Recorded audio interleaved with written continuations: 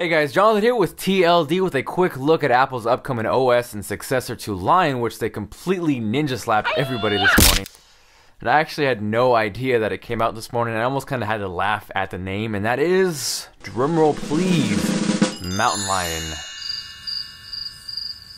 I don't know about you guys, but I think a lion kick a mountain lion's ass any day of the week. Now, as far as the details go, it'll be released sometime this summer 2012. If you currently have a developer account, you can check it out now as a beta. It looks more and more every day like Apple's trying to unify the iOS to the desktop experience. They're just bringing more and more features from the iPhone and the iPad to the desktop. A few of them stood out to me, one of them being messages, which a lot of you guys have been wanting and asking for. With messages, you'll finally be able to send iMessages from your Mac to your iPhone, to your iPod Touch, to your iPad. It'll be free. In addition to text, you can also send pictures and video.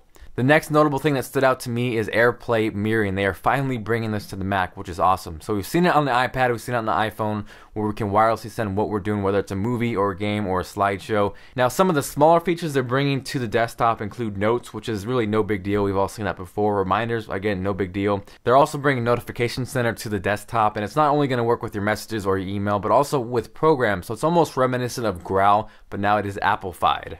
We'll also see Game Center brought to the desktop. I personally don't use that too much on iOS. If you do, however, leave me a comment down below. And the last of the sneak peek features is Share Tabs, which again is very iOS-like. You can share things on the spur of the moment. So if you're browsing something, you see a picture, click the Share Tabs. You can either message it, tweet it directly from the browser. And I'm sure as time goes on, we'll see more application support for this feature. So thank you guys for watching this video. If you enjoyed it and you're feeling like being awesome, make sure to give it a thumbs up. It is much appreciated. It helps the channel out. If you are new and you haven't subscribed, feel free to do so by clicking the button right here. Check out our latest coverage on the PS Vita, and I will see you guys later.